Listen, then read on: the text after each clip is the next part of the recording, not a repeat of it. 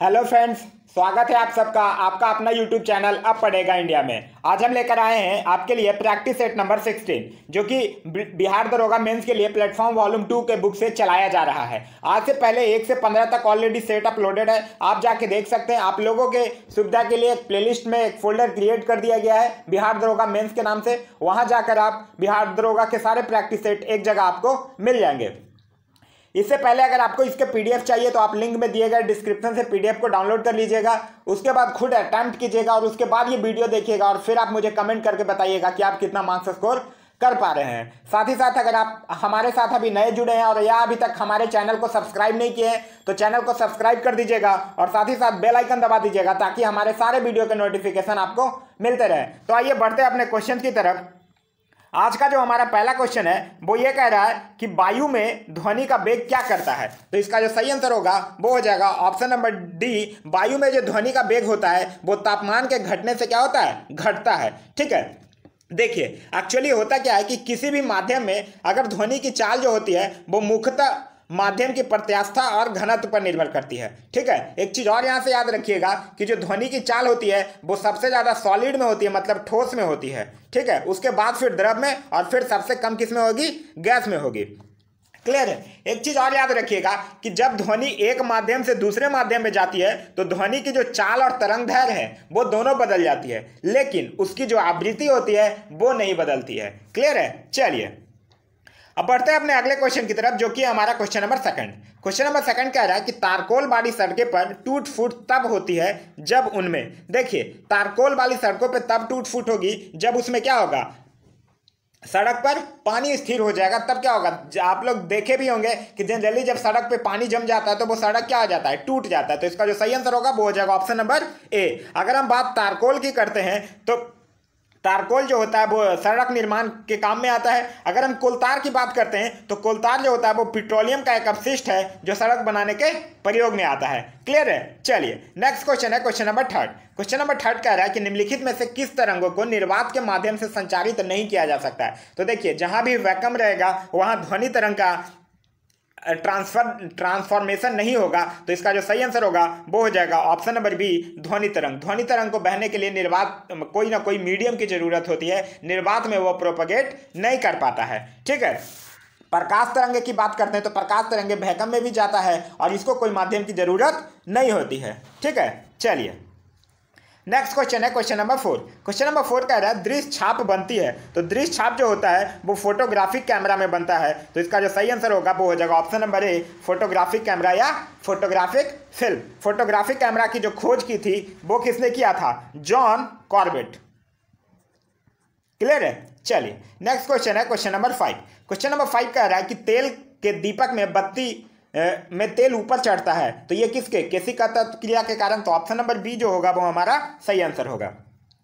Question number six कह रहा है माइक्रोवेव ओवन में जिस माइक्रोवेव ट्यूब का प्रयोग होता है, वो होता है। तो इसका जो सही आंसर होगा वो हो जाएगा option number C magnetron tube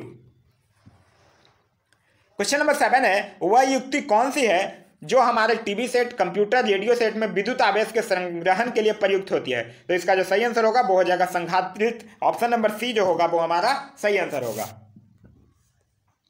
question number eight है स्लैग यह नाम किसे दिया गया है? तो इसका जो सही आंसर होगा स्लैग कहा किसको जाता है? गलित कैल्शियम सिलिकेट को। तो ऑप्शन नंबर डी जो होगा, वो हमारा सही आंसर होगा। नेक्स्ट क्वेश्चन है question number nine question number nine कह रहा है कि जब नींबू के रस को खाने के सोडा पर डाला जाता है तो उसमें तेज उत्फुलन होता है, क्योंकि उससे कौन सी गैस उत्पन्न होती है? तो देखिए, यहाँ गैस पूछ रहा है तब तो कार्बन डाइऑक्साइड होगा, क्योंकि उससे उत्पन्न गैस पूछ रही है। लेकिन अगर उत्पन्न यहाँ लवण भी होता है और जल भी होता है तो ऐसे देखा जाए तो उपरोक्त सही सभी भी होगा, लेकिन सिर्फ़ गैस पूछेगा, उत्पन्न गैस कौन सी है तो कार्बन डाइऑक्साइड होगा आंसर लेकिन लवण भी उत्पन्न होता है, जल भी उत्पन्न होता है। यहाँ से अगर उत्पन्न रहती तो फिर तीनों आंसर हो जाता। क्लियर है? चलिए नेक्स्ट क्वेश्चन है क्वेश्चन नंबर टेन फेन प्लवन प्रकर्म का प्रयोग किसके धातु कर्म के लिए किया जाता है? तो सल्फाइड आयक्स के लिए किया जाता है। तो ऑप्शन नंबर ए जो होगा, वो हमारा सही आंसर होगा। क्वेश्चन नंबर इलेवन है, शरीर के साथ संपर्क में स्प्रिट ठंडी अनुभूति देती है क्योंकि वह तो क्या वो अत्यंत बाष्पशील होती है और हमारे शरीर से जो ऊर्जा होती है, उष्मा होती है, उसको लेके वो बाष्प में बदलने लगता है। इसलिए हम जहाँ पे स्प्रिट लगाते हैं, वहाँ पे मुझे ठंडा महसूस होता है। तो ऑप्शन नंबर सी जो होगा, वो हमारा सही आंसर होगा। स्प्रिट से याद रखिएगा स्प्रिट का प्रयोग अल्कोहल उद्योग में भी किया जाता है। आजकल जो हमारे यहाँ अभी रिसेंटली कोरोना महामारी के आने के कारण जो सैनिटाइजर हो रहा है, उसमें भी स्प्रिट का बहुत ज़्यादा यूज़ है। नेक्स्ट क्वेश्चन है question number twelve question number twelve कह रहा है कि पेट्रोल की स्फोटक रोधी गुणवत्ता बढ़ाने के लिए निम्न में से किसे इस्तेमाल किया जाता है? तो पेट्रोल में अगर स्फोटक रोधी गुणवत्ता बढ़ाना है तो हमें टेट्रा एथिल सीसा का इस्तेमाल करना होगा। तो ऑप्शन नंबर बी जो होगा, वो हमारा सही आंसर होगा।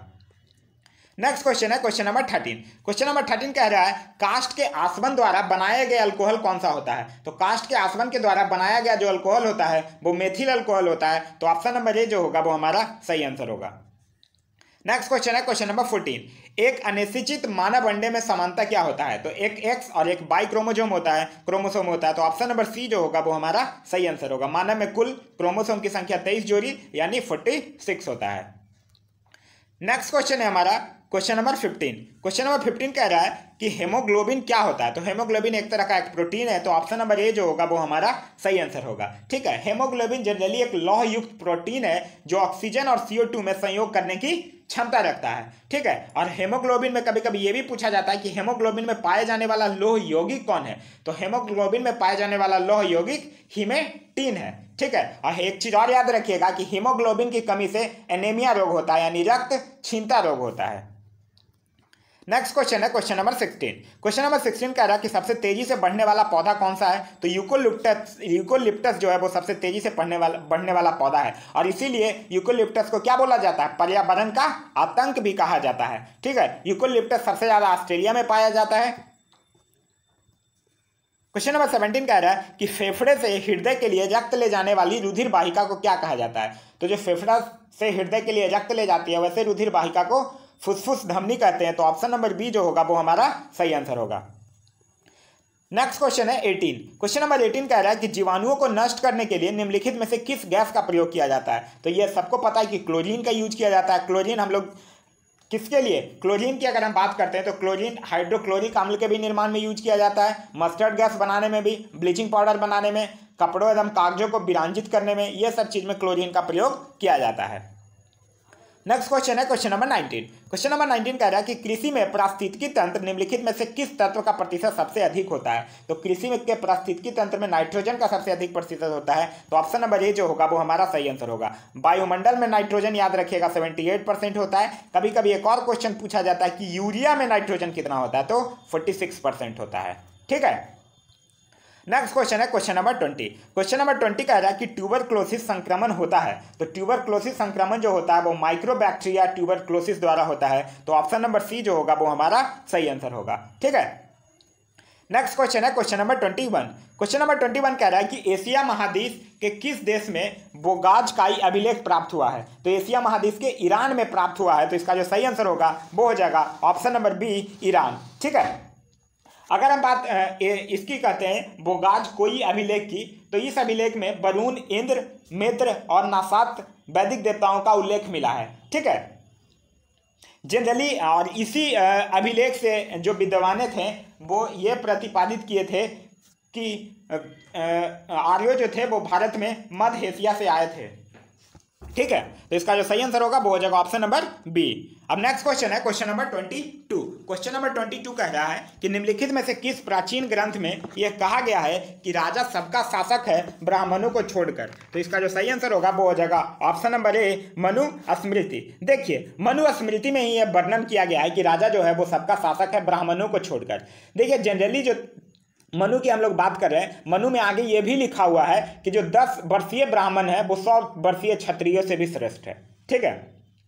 मनु ने ब्राह्मण को विराट पुरुष के मुख से उत्पन्न बताया है, तथा लिखा है कि ब्राह्मणों के मुख से पैदा होने के कारण, चार वर्गों में ज्येष्ठ होने के कारण, तथा वेदों को धारण करने के कारण ये संपूर्ण सृष्टि के स्वामी है। ब्राह्मणों के बारे में ऐसा बोला गया है। ठीक है? चलिए नेक्स्ट क्वेश्चन है question number twenty three question number twenty three कह रहा है कि निम्नलिखित में से कौन जिला व ग्राम के मध्य स्तर पर कर संग्रह करने के लिए उत्तरदायी होता है? तो गोप नामक जो अधिकारी था, वो जिला एवं ग्राम के मध्य स्तर पर कर संग्रह के लिए उत्तरदायी होता था। मौर्य काल में गोप जो था, वो जन्म मृत्यु के पंजीकरण अधिकारी के रूप में कार्य करता था। और ये जनरली दस या पंद्रह गाँव के ऊपर का एक प्रमुख अधिकारी होता था, जो ये काम करता था। ठीक है, ये भू राजस्व से जितना भी तथ्य था, उसको लिखता था और सब कुछ ये मेंटेन यही करता था। तो ऑप्शन नंबर ये जो होगा, वो हमारा सही आंसर होगा। नेक्स्ट क्वेश्चन है question number twenty four question number twenty four कह रहा है कि मैग्नीज का सर्वाधिक उत्पादक किस राज्य में होता है? तो इसका जो सही आंसर होगा, वो हो जाएगा ऑप्शन नंबर बी उड़ीसा। ठीक है? और अगर पूरे वर्ल्ड में बात करें तो पूरे वर्ल्ड में रसिया है पहले नंबर पर और भारत है हमारा, वो दूसरे नंबर पर है।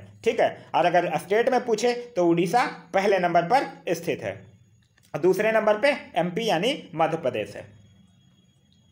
नेक्स्ट क्वेश्चन है question number twenty five question number twenty five कह रहा है कि भारत के स्थलाकृतिक मानचित्र कौन बनाता है? तो भारत के स्थलाकृत मानचित्र बनाता है भारतीय सर्वेक्षण विभाग, ठीक है, जिसकी स्थापना 1767 में हुआ था। क्लियर है चलिए नेक्स्ट क्वेश्चन है question number twenty six question number twenty six कह रहा है कि डची ग्राम अभ्यारण भारत के किस राज्य में स्थित है? तो डची ग्राम जम्मू कश्मीर में स्थित है तो ऑप्शन नंबर ए जो होगा वो हमारा सही आंसर होगा। जम्मू कश्मीर से और कुछ याद रखिएगा, जैसे कि Salim Ali national park Kishtwar national park, ये सब जम्मू कश्मीर में है। अगर हम बात महाराष्ट्र की कर लेते हैं तो महाराष्ट्र से याद रखिएगा, चांदोली, नौगांव, नवागांव और तनसा, ये सब महाराष्ट्र से है। अगर हिमाचल प्रदेश की बात करते हैं तो हिमाचल प्रदेश से याद रखिएगा, पीन वैली, ग्रेट हिमालय, रोहला, उत्तरांचल की अगर बात करते हैं, जिसको हम लोग उत्तराखंड बोलते हैं तो उत्तराखंड से याद रखिएगा सबसे important Jim Corbett, Nanda Devi, Rajaji, ये सारे राष्ट्रीय पार्क उत्तरांचल में है। तो ये सारे स्टेट का राष्ट्रीय पार्क आप लोग याद रखिएगा। नेक्स्ट क्वेश्चन है question number twenty seven question number twenty seven कह रहा है कि भारत के किस राज्य में सर्वाधिक सिंचाई नलकूपों से होती है? तो इसका जो सही आंसर होगा, वो हो जाएगा option number D Uttar Pradesh में सर्वाधिक सिंचाई नलकूपों से होती है। अगर ये भी क्वेश्चन पूछ लिया जाए कि भारत में सबसे ज़्यादा सिंचाई किस चीज़ से होती है तो उसका आंसर भी नलकूप ही हो जाएगा। भारत में जो सबसे ज़्यादा सिंचाई का माध्यम है, वो नलकूप है। ऑलमोस्ट नलकूप से आप मान के चलिए कि ट्वेंटी से लेकर ट्वेंटी सबसे ज़्यादा नलकूप से ही होता है। ठीक है? नेक्स्ट क्वेश्चन है question number twenty eight question number twenty eight कह रहा है कि प्रसिद्ध तिरुमाला मंदिर किस पहाड़ी पर स्थित है? तो ये तमिलनाडु में स्थित है और वेंकटारदी पहाड़ी पर स्थित है। तो ऑप्शन नंबर डी जो होगा वो हमारा सही आंसर होगा। नहीं, तमिलनाडु नहीं सॉरी आंध्र प्रदेश में स्थित है। ठीक है? नेक्स्ट क्वेश्चन है question number twenty nine question number twenty nine कह रहा है कि हिमनद का पिघलना सागर का जल स्तर बढ़ने से जुड़ी हुई एक समान घटना है। हिमनद अधिकतर कहाँ पाए जाते हैं? तो हिमनद अधिकतर उत्तरी ध्रुव में पाए जाते हैं तो ऑप्शन नंबर डी जो होगा, वो हमारा सही आंसर होगा। और हिमनद के कारण ही नदियों में साल भर जल का प्रभाव बना रहता है। नेक्स्ट क्वेश्चन है question number thirty question number thirty कह रहा है कि भारत में पहली सूती मिल मुंबई में स्थापित करने का कारण क्या था? तो देखिए, पतन की भी सुविधा थी कपास उत्पादन क्षेत्र होना था और पूंजी की उपलब्धता था। यानी इनमें से सभी, यानी ऑप्शन नंबर डी जो होगा, वो हमारा सही आंसर होगा। अगर हम सूती मिल की बात करते हैं तो सबसे पहले भारत में जो आधुनिक ढंग से सूती मिल की स्थापना हुई थी, वो 1818 में कलकत्ता में हुई थी फोर्ट ग्लास्टर में। लेकिन ये असफल रहा था, ठीक है? और फिर अठारह सौ चौवन में सबसे पहले सूती बस का जो कारखाना बम्बे में काबासजी डावर के द्वारा स्थापित किया गया था, ये एक सफल रहा। तो अठारह सौ चौवन में जो मुंबई में हुआ था, ये सफल रहा। बम्बे में जो हुआ था, वो सफल रहा। और ये अठारह सौ अठारह में जो कलकत्ता के फोर्ट ग्लास्टर में हुआ था, ये असफल रहा था। क्लियर है? चलिए नेक्स्ट क्वेश्चन है question number thirty one question number thirty one कह रहा है कि सूती वस्त्रों के उत्पादन में भारत का क्या स्थान है? तो सूती वस्त्रों में भारत का दूसरा स्थान है तो ऑप्शन नंबर सी जो होगा वो हमारा सही आंसर हो जाएगा। अब विश्व में अगर सबसे पहली की बात करें तब है चाइना और दूसरे पे है इंडिया। लेकिन एक क्वेश्चन और पूछा जाता है कि सूती वस्त्र मतलब कपास का जन्मभूमि किसको माना जाता है? तो जन्मभूमि भारत को ही माना जाता है कपास का। नेक्स्ट क्वेश्चन है question number thirty two question number thirty two कह रहा है कि मेघना निम्नलिखित में से किन दो नदियों की सम्मिलित धारा है? तो मेघना जो है, वो बांग्लादेश की एक प्रमुख नदी है, जो गंगा और ब्रह्मपुत्र दो नदियों की सम्मिलित धारा है। ठीक है तो ऑप्शन नंबर डी जो होगा, वो हमारा सही आंसर हो जाएगा। ठीक है, गंगा से एक चीज़ याद रखिएगा कि यह बांग्लादेश में पदमा नदी के नाम से बहती है। नेक्स्ट क्वेश्चन है question number thirty three question number thirty three कह रहा है कि कौन क्षेत्र अम्ल वर्षा से अधिक प्रभावित होता है? तो इसका जो सही आंसर है, वो हो जाएगा दामोदर घाटी क्षेत्र। तो ऑप्शन नंबर बी जो होगा, वो हमारा सही आंसर होगा। अम्ल वर्षा से आप लोग भली भांति परिचित होंगे कि वैसी वर्षा जिसमें वायुमंडल में निहित रासायनिक तत्व या फिर प्रदूषक मिल गए हो और जो पृथ्वी पर एक हल्के अम्लीय सांद्रण के रूप में गिरती है, उसी को हम लोग अम्लीय वर्षा कहते हैं। अम्ल वर्षा से एक और चीज़ याद रखिएगा कि इसमें सत्तर परसेंट सल्फ़र के डाइऑक्साइड होते हैं और तीस परसेंट नाइट्रोजन के डाइऑक्साइड होते हैं, ऑक्साइड होते हैं। मतलब मिला के बन जाएगा एसओ टू, एसओ थ्री और एनओ। तो ये तीनों होता है एसिड रेन में। नेक्स्ट क्वेश्चन है question number thirty four question number thirty four कह रहा है कि भूमिगत जल का उपयोग भारत के किस क्षेत्र में अधिक किया जाता है? तो भूमिगत जल का उपयोग भारत के उत्तर भारत में सबसे ज़्यादा किया जाता है तो ऑप्शन नंबर डी जो होगा वो हमारा सही आंसर हो जाएगा। ठीक है? अब यहाँ पे हम लोग अभी देखे भी थे कि नलकूपों की सर्वाधिक सघनता वाला राज्य कौन था? उत्तर प्रदेश। लेकिन अगर आपसे पूछे कि तालाब द्वारा सर्वाधिक सिंचाई वाला राज्य कौन है, तब हो जाएगा तमिलनाडु। क्लियर है? चलिए नेक्स्ट क्वेश्चन है question number thirty five question number thirty five कह रहा है कि राज्यपाल की नियुक्ति कितने वर्षों के लिए की जाती है? तो इसका जो सही आंसर होगा, वो हो जाएगा ऑप्शन नंबर सी पाँच वर्षों के लिए की जाती है। लेकिन एक चीज़ याद रखिएगा, राज्यपाल की नियुक्ति पाँच वर्षों के लिए की जाती है, परंतु यह राष्ट्रपति के प्रसाद पर्यंत तक पद धारण करता है या वह पद त्याग कर सकता है। क्लियर है? राज्यपाल से एक और चीज़ याद रखिएगा कि राज्य की कार्यपालिका का प्रधान राज्यपाल ही होता है। नेक्स्ट क्वेश्चन है question number thirty six question number thirty six कह रहा है कि किन परिस्थितियों में व्यक्ति के मौलिक अधिकार को सीमित किया जा सकता है? तो राष्ट्रीय संकट काल में, आंतरिक सुरक्षा कानूनी निर्मित कर में, संविधान में संशोधन कर। तो ऑप्शन नंबर डी जो है वो सही होगा, इनमें से सभी। ठीक है? मौलिक अधिकार की अगर हम बात करते हैं तो ये यूएसए से संयुक्त राज्य अमेरिका से लिया गया है और भाग तीन में वर्णित है अनुच्छेद बारह से लेकर अनुच्छेद पैंतीस तक। क्लियर है? चलिए। नेक्स्ट क्वेश्चन है question number thirty seven question number thirty seven कह रहा है कि उच्च न्यायालय के मुख्य न्यायाधीश एवं अन्य न्यायाधीशों की नियुक्ति कौन करता है? तो उच्च न्यायालय के मुख्य न्यायाधीश या अन्य न्यायाधीशों की नियुक्ति हमारे राष्ट्रपति करते हैं तो ऑप्शन नंबर ए जो होगा, वो हमारा सही आंसर होगा।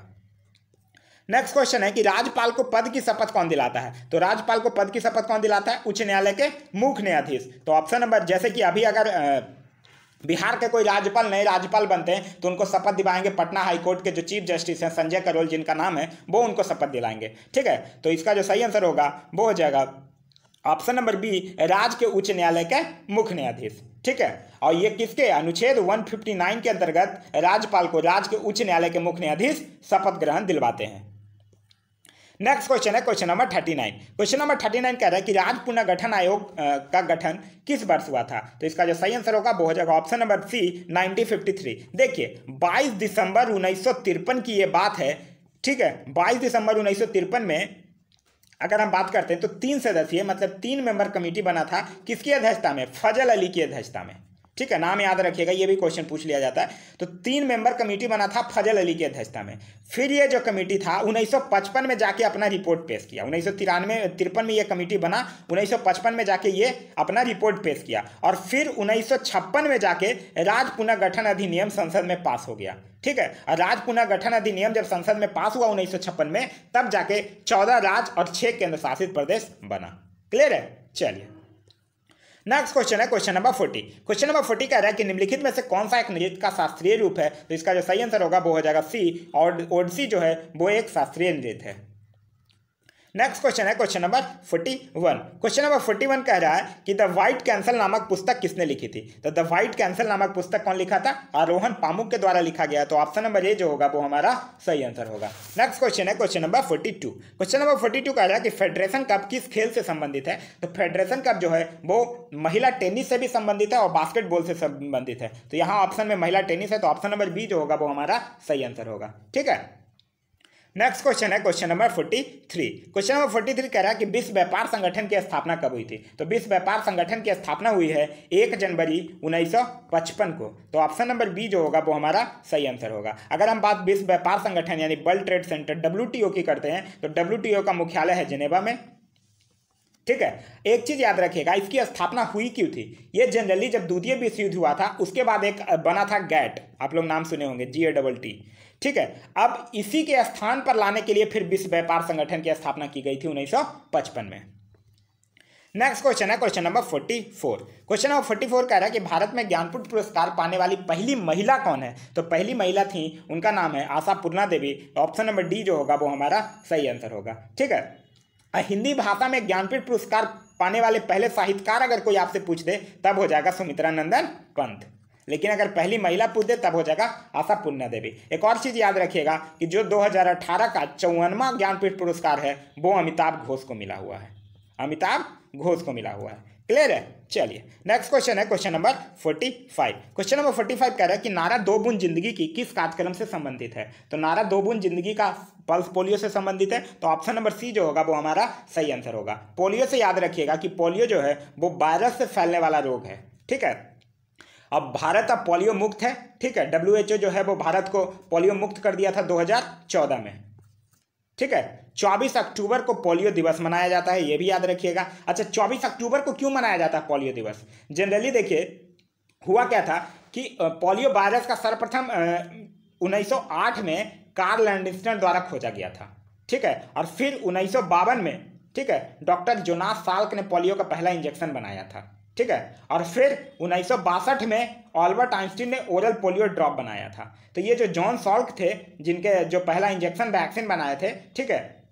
इन्हीं का बर्थडे था 24 अक्टूबर को, और इसीलिए 24 अक्टूबर का बनाया जाता है विश्व पोलियो दिवस। नेक्स्ट क्वेश्चन है question number forty six question number forty six कह रहा है कि विश्व बैंक का मुख्यालय कहाँ स्थित है? तो विश्व बैंक का मुख्यालय जो है वो वाशिंगटन डीसी में स्थित है तो ऑप्शन नंबर बी जो होगा वो हमारा सही आंसर होगा। और विश्व बैंक का स्टैब्लिश कब हुआ था? जुलाई उन्नीस चौवालीस में। अभी इसके मेंबर कंट्री कितने हैं? वन इससे दो चीज़ और इंपॉर्टेंट चीज़ याद रखिएगा कि इनके प्रेसिडेंट का नाम है डेविड मालपास। अब प्रेसिडेंट से ज़्यादा इंपॉर्टेंट है एमडी और सीएफओ कौन है? तो उनका नाम है अंशुला कांत। अंशुला कांत। तो वर्ल्ड बैंक के प्रेसिडेंट हो गए कौन? डेविड मालपास और एमडी और सीएफओ कौन हो गए? अंशुला कांत। नेक्स्ट क्वेश्चन है question number forty seven question number forty seven कह रहा है कि योनि की ओर जाती है। तो इसका जो सही आंसर होगा, योनि गर्भाशय की ओर जाती है। तो ऑप्शन नंबर डी जो होगा, वो हमारा सही आंसर होगा। योनि क्या है? एक नली के समान रचना है जो बाहर से लेकर गर्भाशय तक फैली हुई है। नेक्स्ट क्वेश्चन है question number forty eight question number forty eight कह रहा है कि मंदता, जिसको हम लोग मंदन भी बोलते हैं, उसकी अंतर्राष्ट्रीय एसआई इकाई क्या है? तो मंदन क्या है? जिसको हम लोग निगेटिव एसोलेशन बोलते हैं। निगेटिव एसोलेशन यानी रिटायर्डेशन कहते हैं। एसोलेशन जो निगेटिव हो मतलब कहने का मतलब है ऋणात्मक त्वरण को हम लोग मंदता या रिटायर्डेशन कहते हैं। तो त्वरण का यूनिट क्या होता है? मीटर पर सेकेंड स्क्वायर तो इसका जो सही आंसर होगा वो हो जाएगा ऑप्शन नंबर सी मीटर पर सेकेंड स्क्वायर नेक्स्ट क्वेश्चन है question number forty nine question number forty nine कह रहा है कि ब्लैंक गैस का उपयोग चिप्स चिप्स को ऑक्सीकरण हेतु होने से रोकने के लिए किया जाता है। इसका जो सही आंसर होगा वो हो जाएगा option number two option number C N two ठीक है? देखिए कभी कभी इस क्वेश्चन को थोड़ा सा टिल्ट करके नॉर्मल पूछ लिया जाता है कि चिप्स के पैकेट में कौन सा गैस भरा रहता है तो भी उसका आंसर हो जाएगा नाइट्रोजन नेक्स्ट क्वेश्चन है question number fifty question number fifty कह रहा है कि किसी वस्तु पर किया गया कार्य निम्न में से किस पर निर्भर नहीं करता है? तो वस्तु पर किया गया कार्य जो होता है, वो वस्तु के द्रव्यमान पर निर्भर नहीं करता तो ऑप्शन नंबर बी जो होगा, वो हमारा सही आंसर होगा। नेक्स्ट क्वेश्चन है question number fifty question number fifty one कह रहा है कि ब्लैंक दिल्ली के सुल्तान ने अपनी राजधानी को दिल्ली से दौलताबाद हस्तांतरित कर दिया था। तो इसका जो सही आंसर होगा, वो हो जाएगा एमबीटी मोहम्मद बिन तुगलक। ठीक है? मोहम्मद बिन तुगलक जो था वही अपनी राजधानी दिल्ली से दौलताबाद स्थापित कर दिया गया था। ठीक है? दिल्ली से यह जनरली देवगिरी ले गया था और देवगिरी का ही ये नाम बदल के दौलताबाद कर दिया था। ठीक है? मोहम्मद बिन तुगलक से याद रखिएगा कि इसी के टाइम में मोरक्को यात्री इबन बतूता भारत आया था। मोहम्मद बिन तुगलक से एक और चीज़ याद रखिएगा कि इसको स्वप्नशील, पागल, रक्त पिचासू कहा जाता है। ठीक है?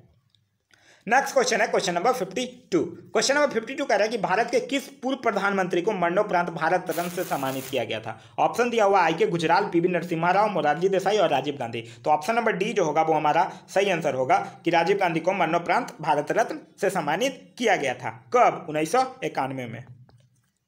ठीक है? अब मरणोपरांत भारत रत्न पाने वाले प्रथम व्यक्ति कौन थे? अगर पूछ दिया जाए, तब हो जाएगा लाल बहादुर शास्त्री। जिनको उन्नीस सौ छियासठ में दिया गया था। और सबसे भारत रत्न दिया जा रहा है उन्नीस सौ चौवन से, और सबसे पहले मिला था डॉक्टर सर्वपल्ली राधा कृष्णन को। क्लियर है? चलिए नेक्स्ट क्वेश्चन है question number fifty three question number fifty three कह रहा है कि निम्न में से कौन भारत सरकार के खेलो इंडिया कार्यक्रम से संबंधित है? तो खेल विभाग होगा तो ऑप्शन नंबर बी जो होगा, वो हमारा सही आंसर है। और यह स्टार्ट कब हुआ था? दो में खेलो इंडिया स्टार्ट हुआ था। इसमें दो कैटेगरी है, एक अंडर सेवनटीन है, और एक अंडर ट्वेंटी है। नेक्स्ट क्वेश्चन है question number fifty four question number fifty four कह रहा है कि मनुष्यों में, महिलाओं में यौन गुणसूत्रों का सेट होता है। तो इसका जो सही आंसर होगा, वो हो जाएगा option number A X X होता है। देखिए, यहाँ से एक चीज़ याद रखिएगा कि मनुष्यों में गुणसूत्र की संख्या कितनी होती है? फोर्टी सिक्स जिसको हम लोग तेईस जोड़ा बोलते हैं। और पुरुष का जो गुणसूत्र होता है, वो संतान के लिंग निर्धारक के लिए उत्तरदायी होता है। ठीक है? जनरली आज से पहले जमाने में ऐसा होता था जब हमारा सोसाइटी में मतलब वोमेन एम्पावरमेंट इतना नहीं था। लड़कियों को नीचे स्तर से देखा जाता था। तो जनरली लोग भ्रूण हत्या करते थे, लड़कियों को मार दिया जाता था। या फिर जो लेडीज़ जिनका मतलब कि लड़कियाँ होती थी, उनको रिस्पॉन्सिबल माना जाता था या फिर उनको गलत ठहराया जाता था कि इस लड़की के कारण ही मुझे बेटी हो रहा है। लेकिन ऐसा कुछ नहीं होता है। बेटा हो रहा है या बेटी ये मेनली पुरुष के गुणसूत्र पर निर्भर करता है। ठीक है?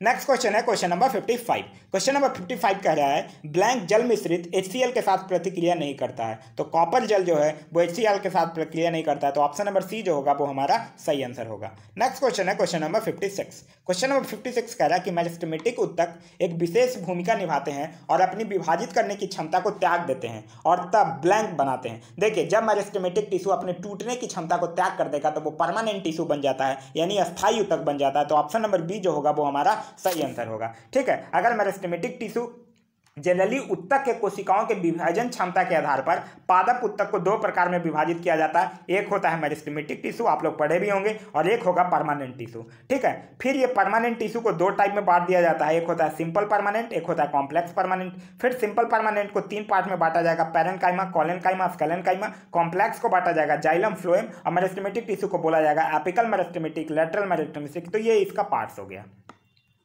नेक्स्ट क्वेश्चन है question number fifty seven question number fifty seven कह रहा है ब्लैंक में पतली कोशिका भीति के साथ अपेक्षाकृत गैर विशिष्ट कोशिकाएँ होती हैं। तो इसका जो सही आंसर होगा, वो हो जाएगा पैरनकाइमा जो कि परमानेंट टिश्यू के अंतर्गत simple complex permanent tissue simple permanent tissue का है। पैरनकाइमा कॉलनकाइमा स्कैलनकाइमा तो उसी में जो पैरनकाइमा होता है, उसमें पतली कोशिका भीति के साथ अपेक्षाकृत गैर विशिष्ट कोशिकाएँ होती हैं। क्लियर है? चलिए नेक्स्ट क्वेश्चन है question number fifty question number fifty कह रहा है कि निम्न में से कौन सी फ़सल फलीदार है? तो इसका जो सही आंसर होगा, वो हो जाएगा ऑप्शन नंबर सी दलहन। ठीक है और दलहन कौन से फ़सल के अंतर्गत आता है? रबी फ़सल के अंतर्गत आता है और इसमें सबसे ज़्यादा प्रोटीन की मात्रा पाई जाती है। ठीक है, हरित क्रांति जब हुई थी तो उसमें दलहन का उतना ज़्यादा विकास नहीं हो पाया था। इसीलिए फिर हम दलहन की खेती को विकास करने के लिए फिर से हम लोग दोबारा पीली क्रांति लेकर आए थे, जो दलहन से संबंधित है।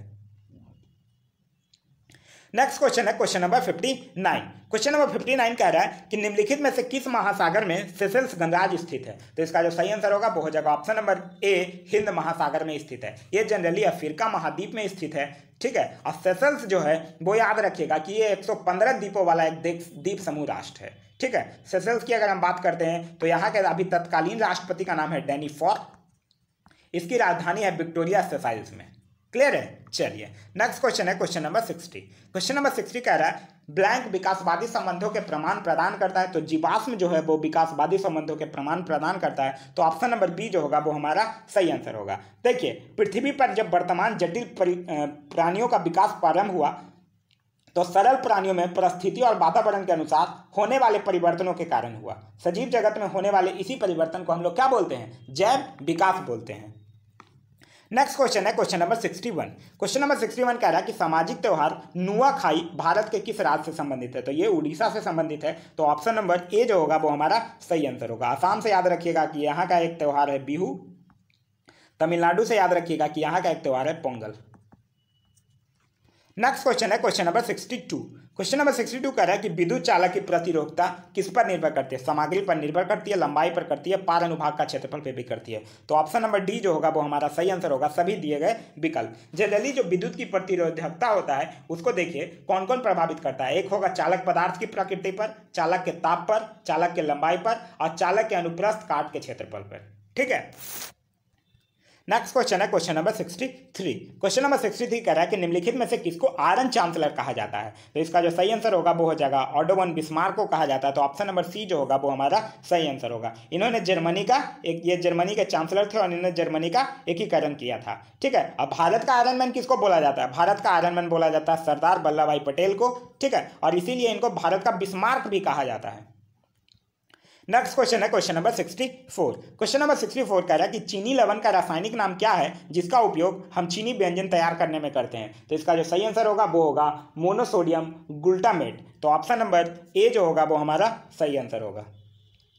नेक्स्ट क्वेश्चन है question number sixty five question number sixty five कह रहा है कि बोथानिया की खाड़ी दो देशों के बीच स्थित है, उनमें से एक फिनलैंड है, दूसरा देश कौन सा है? तो बोथानिया की खाड़ी जनरली जो है फिनलैंड और स्वीडन के बीच स्थित है तो ऑप्शन नंबर ए जो होगा वो हमारा सही आंसर होगा। फिनलैंड से याद रखिएगा कि फिनलैंड की राजधानी है हेलसिंकी, और यहाँ का मुद्रो है यूरो और स्वीडन से याद रखिएगा कि स्वीडन की राजधानी है स्टॉकहोम, और यहाँ की मुद्रा है क्रोना। नेक्स्ट क्वेश्चन है question number sixty six question number sixty six कह रहा है कि मुगल काल का प्रसिद्ध चित्र साइबोराई सारस का चित्रण किसने किया था? तो इसका जो सही आंसर होगा वो हो जाएगा मंसूर, यानी ऑप्शन नंबर सी जो होगा वो हमारा सही आंसर होगा। ठीक है? अगर हम बात दसवंत और बासवन की करते हैं तो दसवंत और बासवंत जो था, वो अकबर के काल के चित्रकार थे। ठीक है? अबुल हसल आप लोगों को पता ही होगा, ये जहांगीर के दरबार में रहते थे। ठीक है? और उस्ताद मंसूर भी जो था, वो जहांगीर का दरबारी चित्रकार था। नेक्स्ट क्वेश्चन है question number sixty seven question number sixty seven कह रहा है कि कौन पातशाह नामा का लेखक था? तो इसका जो सही आंसर होगा, वो हो जाएगा option number B Abdul Hamid Lahori. ठीक है? और ये जो पातशाहनामा था, इसमें जनरली शाहजहाँ के 20 वर्षों के इतिहास का उल्लेख मिलता है। जब शाहजहाँ का शासनकाल चल रहा था तो दक्कन क्षेत्रों में एक बार भयावह अकाल आया था, उसी का वर्णन इस बुक में देखने के लिए मिलता है। नेक्स्ट क्वेश्चन है question number sixty eight question number sixty eight कह रहा है कि कौन सा सूफी संप्रदाय बिहार में लोकप्रिय था? तो इसका जो सही आंसर होगा, वो हो जाएगा फिरदौसी. यानी ऑप्शन नंबर ए जो होगा, वो हमारा सही आंसर होगा. ठीक है? नेक्स्ट क्वेश्चन है question number sixty nine question number sixty nine कह रहा है कि हिंदू मनसबदारों का अनुपात सबसे अधिक किस सम्राट के काल में था? तो इसका जो सही आंसर होगा, वो हो जाएगा ऑप्शन नंबर डी औरंगज़ेब के शासनकाल में हिंदू मनसबदारों का अनुपात सबसे अधिक था. ठीक है? वाइने अकबरी, आप लोग नाम सुने होंगे। तो आइने अकबरी में छियासठ प्रकार के मनसबों का उल्लेख किया गया है। ठीक है? और मनसबदारी प्रथा सबसे पहले पंद्रह में अकबर के द्वारा शुरू किया गया था। ठीक है? नेक्स्ट क्वेश्चन है question number seventy question number seventy कह रहा है कि भक्ति आंदोलन का जन्मदाता किसे माना जाता है? तो इसका जो सही आंसर होगा, वो हो जाएगा ऑप्शन नंबर सी यानी रामानुज चार्ज को, ठीक है? और इन्हीं को भक्ति का जन्म जनरली दक्षिण भारत में हुआ था। और फिर एक क्वेश्चन जो सबसे ज़्यादा पूछा जाता है कि दक्षिण भारत से उत्तर भारत में भक्ति आंदोलन को कौन लेके आया था? तब वो लेके आए थे रामानंद। ठीक है? रामानंद लेकर आए थे उत्तर, दक्षिण भारत से उत्तर भारत में। क्लियर है? अगर हम बात देखिए शंकराचार्य देखिए, सबका ये चीज़ याद रखिएगा। जैसे शंकराचार्य किससे थे? अद्वैत दर्शन से। निम्बकाचार्य किसके थे? दैता द्वैतवाद से थे। और माधवाचार्य दैतवाद से थे। नेक्स्ट क्वेश्चन है question number seventy one question number seventy one कह रहा है कि निम्नलिखित में से किसके शासनकाल में चंगेज खान ने भारत पर आक्रमण का खत, भारत पर आक्रमण का खतरा था? तो इसका जो सही आंसर होगा, वो हो जाएगा ऑप्शन नंबर बी इलतुतमिश के शासनकाल में। ठीक है? अगर हम बात इल्तुतमिश की करते हैं तो ये गुलाम वंश का वास्तविक संस्थापक माना जाता था। लेकिन गुलाम वंश का नींव डाला था कुतुबुद्दीन ऐबक, लेकिन वास्तविक संस्थापक इल्तुतमिश को माना जाता है। ठीक है? कुतुबुद्दीन ऐबक गुलाब वंश का स्थापना बलबन से याद रखिएगा, इन्होंने नौरोज नाम का त्यौहार शुरू करवाया था। अलाउद्दीन खिलजी से याद रखिएगा कि इनका बचपन का नाम क्या था? गुरसाब था और इन्होंने सिकंदर द्वितीय की उपाधि धारण किया था। नेक्स्ट क्वेश्चन है question number seventy two question number seventy two कह रहा है कि एलोरा के प्रसिद्ध कैलाश मंदिर का निर्माण किस राष्ट्रकूट शासक ने करवाया था? तो इसका जो सही आंसर होगा, वो हो जाएगा कृष्ण प्रथम ने करवाया था। तो ऑप्शन नंबर डी जो होगा, वो हमारा सही आंसर होगा। क्लियर है? चलिए नेक्स्ट क्वेश्चन है question number seventy three question number seventy three कह रहा है कि निम्नलिखित विद्यमानों में से कौन सा सर्वप्रथम भारत आया था? तो सर्वप्रथम भारत आने वाला था फाहियान, एक चीनी यात्री। तो ऑप्शन नंबर डी जो होगा, वो हमारा सही आंसर होगा। इन सब ऑप्शन की अगर बात करते हैं Hiuen Tsang Marco Polo Ibn Battuta, Fahien तो सही आंसर हो जाएगा, वो हमारा ऑप्शन नंबर डी, फाहियान। ठीक है? फाहियान जनरली तीन सौ निन्यानवे से चार सौ चौदह के आसपास आया था। ठीक है? और ये जो फाहियान था, वो भारत आने वाला प्रथम चीनी यात्री था। फाहियान किसके समय पर आया था? चंद्रगुप्त द्वितीय के समय पर भारत आया था। ठीक है? अगर हेंसोंग की बात करते हैं तो हेंसोंग किसके? हर्षवर्धन के समय पर भारत आया था और इबन बतूता मोहम्मद बिन तुगलक के समय पर भारत आया था। ठीक है? मार्क पोलो भी तेरहवीं सदी में ही भारत आया था। नेक्स्ट क्वेश्चन है question number seventy four question number seventy four कह रहा है कि निम्नलिखित में से पेंसिल पोर्टल मोबाइल ऐप का संबंध किस क्षेत्र से है? तो पेंसिल पोर्टल मोबाइल ऐप का संबंध बाल मजदूरी रोकने के लिए है तो ऑप्शन नंबर ए जो होगा, वो हमारा सही आंसर होगा, जो कि दो हज़ार सत्रह में श्रम एवं रोज़गार मंत्रालय के द्वारा आरंभ किया गया था।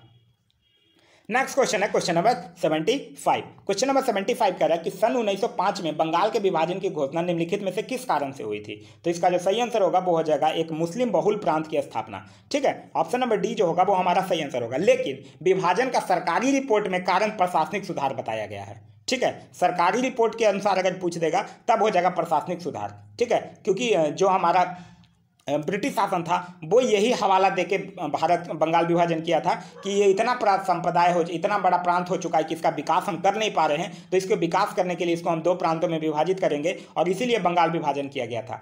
तो सरकारी रिपोर्ट के अनुसार हो जाएगा प्रशासनिक सुधार, लेकिन रियल उसकी मंशा ये थी कि सांप्रदायिकता के आधार पर बंगाल का विभाजन करके भारत में राष्ट्रवाद को कमज़ोर करना चाहता था, ठीक है? तो और एक मुस्लिम बहुल प्रांत की स्थापना करना चाहता था, ठीक है? और इसको जनरली ये जुलाई 1905 में बंगाल विभाजन की घोषणा लॉर्ड कर्जन के द्वारा शिमला से किया गया था और फिर 16 अक्टूबर 1905 को बंगाल में औपचारिक रूप से विभाजन मतलब बंगाल विभाजन लागू हो गया था।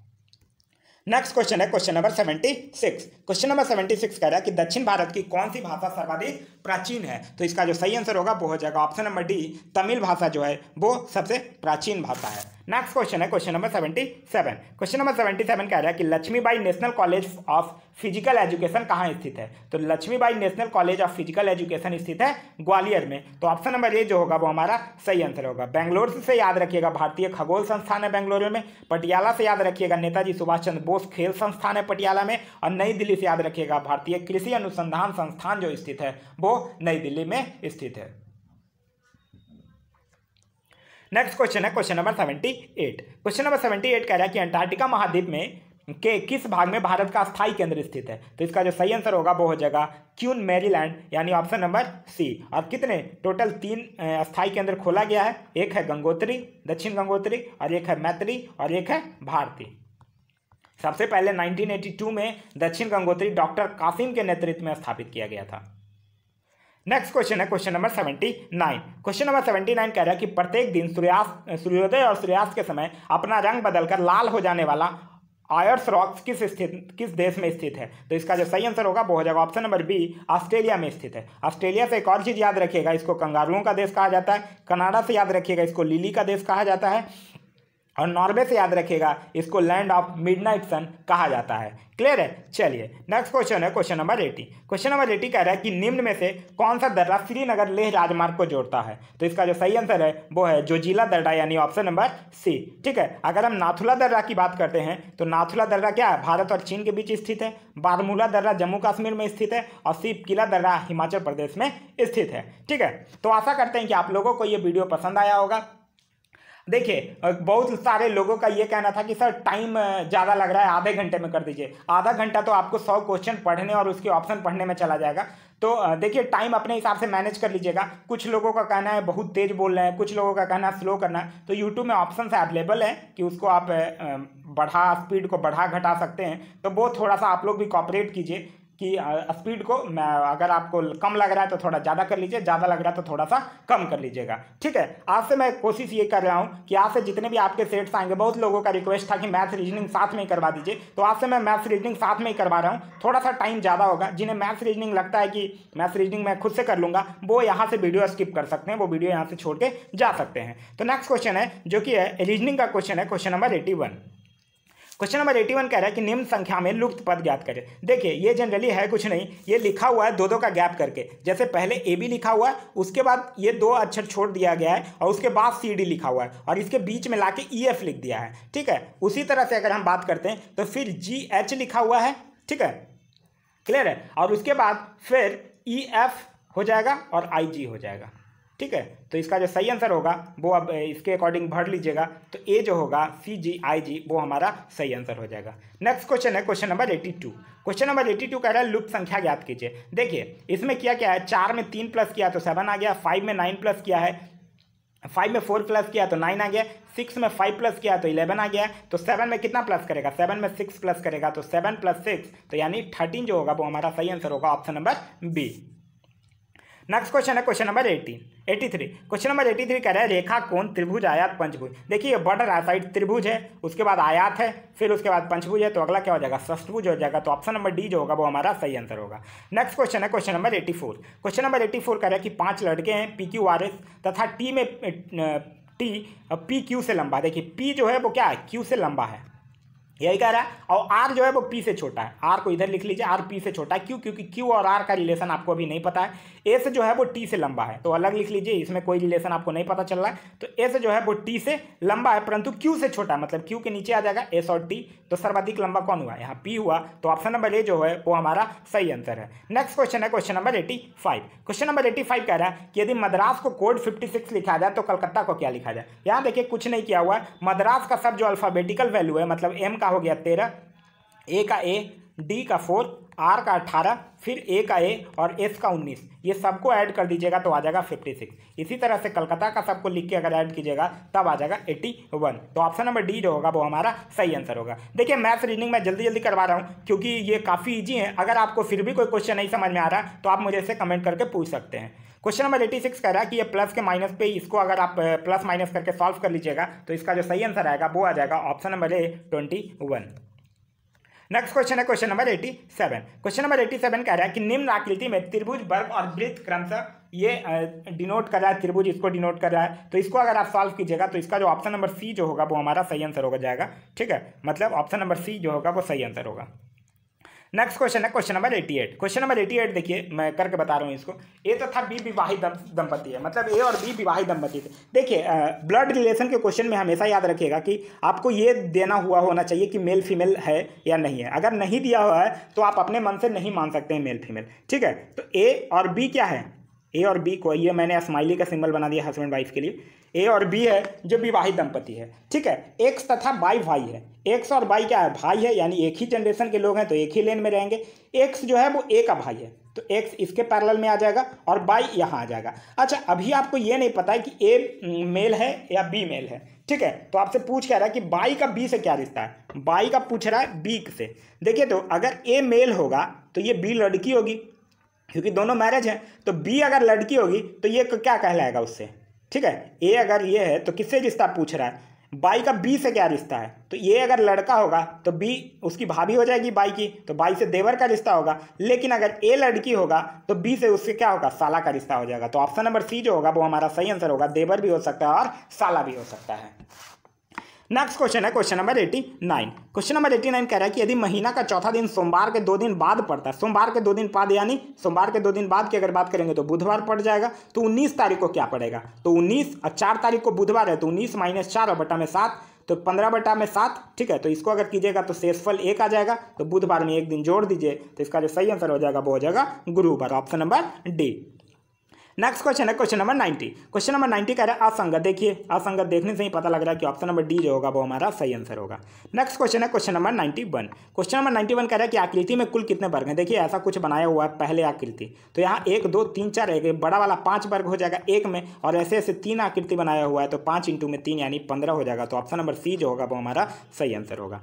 नेक्स्ट क्वेश्चन है question number ninety two question number ninety two कह रहा है कि दो ट्रैंगल दिया हुआ है, उसमें A B nine point one centimetre है D six point five centimetre है और ट्रैंगल ए की प्रमिति दी हुई है पैंतीस डिग्री। देखिए, आपने एक चीज़ पढ़ा होगा, यहाँ पे अगर मैं लिखूँ तो ए बी बटा में D E is equal to हो जाएगा ट्रैंगल ए का पैरामीटर और अपॉन में ट्रैंगल डी ई की पैरामीटर ठीक है? तो ए बी कितना है? नाइन पॉइंट वन है और डी कितना है? सिक्स पॉइंट फाइव और ट्रैंगल ए बी सी का पैरामीटर दिया हुआ है थर्टी फाइव और ई e इसका निकालना है तो इसको हम लोग एक्स मान लेते हैं। तो अपॉन में एक्स कर दीजिए और यहाँ से क्रॉस मल्टीप्लिकेशन कर दीजिए और एक्स की अगर वैल्यू निकालिएगा, तब हो जाएगा ट्वेंटी फाइव तो ऑप्शन नंबर ए जो होगा वो हमारा सही आंसर होगा। नेक्स्ट क्वेश्चन है question number ninety three question number ninety three में तो कुछ करना ही नहीं है। एक्स स्क्वायर एक्स देखिए एक्स स्क्वायर प्लस वन और X square minus one is equal to five by four दिया हुआ। क्रॉस मल्टीप्लिकेशन कर दीजिए, तब यहाँ से आ जाएगा। Five X square minus five is equal to four X square plus four यहाँ से एक्स को सॉल्व कीजिएगा तो एक्स बराबर आ जाएगा अंडर रूट नाइन तो प्लस माइनस थ्री जो होगा वो आपका सही आंसर होगा option number A next question है क्वेश्चन नंबर 94 क्वेश्चन नंबर 94 कह रहा है कि सिक्स सेंटीमीटर ब्यास वाले गोले को पिघलाकर एक एक मिलीमीटर तीजा वाले तार बनाया जाए तो इस तार की लंबाई क्या होगी? देखिए, अगर गोले की बात करते हैं स्फेयर की बात करते हैं तो स्फेयर का वॉल्यूम क्या होता है? Four by three pi R cube होता है। ठीक है?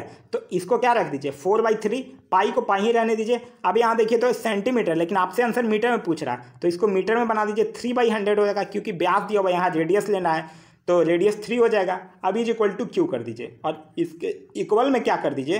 ठीक है, इसके इक्वल में जो तार होता है वो सिलेंडर के फॉर्म में होगा। और सिलेंडर का वैल्यू क्या होता है? वॉल्यूम क्या होता है? पाई आर स्क्वायर तो पाई आर स्क्वायर कर दीजिए। अब आर यहाँ पे वन मिलीमीटर दिया हुआ है। तो आप लोग पढ़े भी होंगे कि वन मिलीमीटर बराबर क्या होता है? Point zero zero one metre ठीक है?